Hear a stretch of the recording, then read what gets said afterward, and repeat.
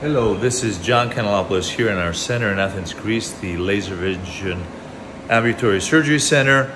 This is our uh, refractive suite. This is the special structure we've made for airflow, FS200, EX500 excimer laser, and we are preparing to do an Athens protocol. You can see here the treatment plan. We'll walk you through it. So this is a young gentleman born in 84. So he's almost um, uh, 40. Uh, and we can all agree we have uh, significant keratoconus. The steepest keratometry is 50. Many pearls here.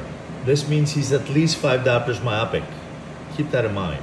We can see the cone center, uh, evident on the back side of the cornea, less on the front side of the cornea. So you can see how more uh, steep the back side of the cornea is. Keratometries are 43, 47, uh, average 45.5, which do not, uh, unfortunately, underline the steepest part of the cornea, which is 51.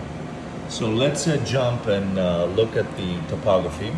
So the topography we can see even with uh, Professor Placido's uh, contribution to cornea diagnostics that we have skewing of the mires, of course the automated topography underlines the keratoconus here.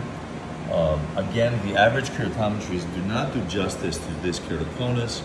We have significant astigmatism. We'll jump to the um, ray tracing, which we have reported is a great way to, uh, let's draw this a little bit to the left, to get a good feel for the refraction.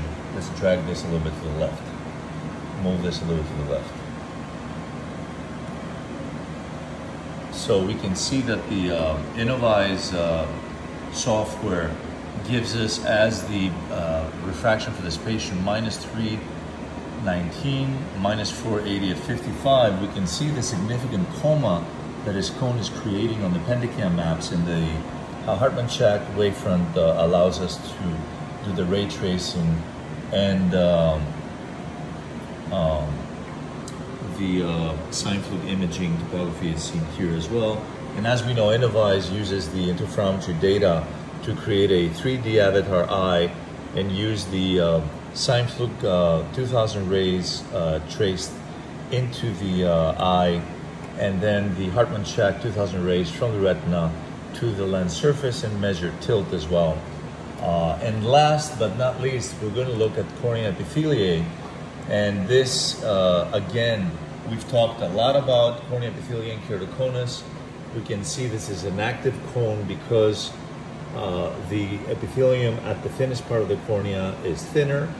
As a response, as remodeling, the epithelium is thickened around, so we will need to do a PTK in order to remove this epithelium because if we put uh, a standard uh, 60 micron epithelial removal, uh, we can see that's unequal. I mean, epithelial thickness varies from uh, almost uh, 45 microns uh, all the way up to uh, 65.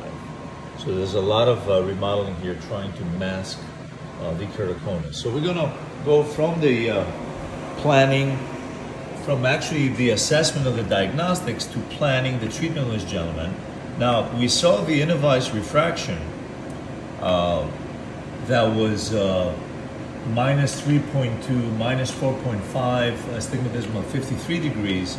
And this is his clinical refraction, minus one and a half, minus three at 65. So not completely different. And uh, we know from the epithelia that we saw that we are going to perform a PTK. So we're gonna go with 40 microns at eight millimeters to remove the epithelium. And here, the first thing that we do is we switch the refractive astigmatism to the topographic astigmatism.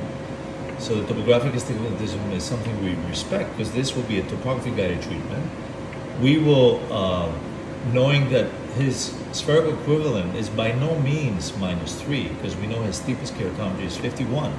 So we know he's around a minus 6, but through the multifocality of the cornea, he's able to find a sweet spot and find a spherical equivalent of minus 3. So we're going to treat the cylinder that he has and not the topographic full cylinder. So we're going to go with minus 3 here on the cylinder. And we're gonna go with a minus two on the myopia because we know, if anything, he's definitely more myopic than uh, we're actually measuring. The cone is relatively central.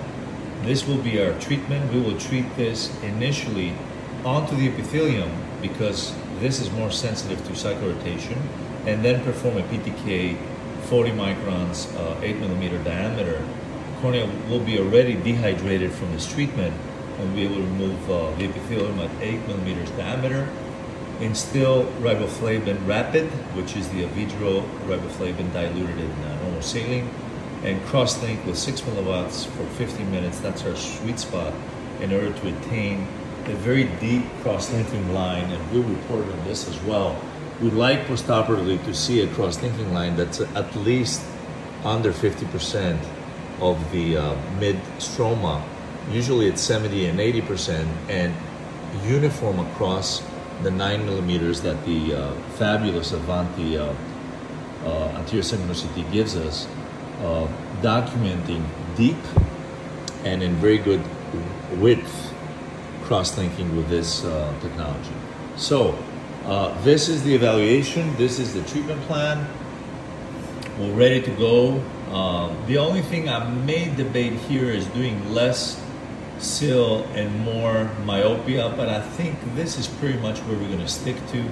This is a spherical equivalent of minus four, and the unknown, the X factor here is how much the how much the synergy of cross-linking and um, the uh, topography guided fix will um, add to the flattening of the cornea and um, that could be anywhere from three diopters all the way up to uh, 15 we've seen and we reported.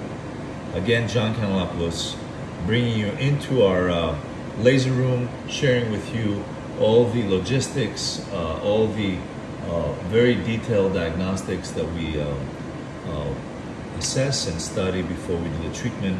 We know these treatments will be, the laser treatment will be about nine seconds, the PTK will be about 25 seconds, then cross-linking 15 minutes. But the work behind all this designing is uh, over two, three hours. Thanks so much for your attention. This is John Kanellopoulos from our center here in Athens, Greece, signing up.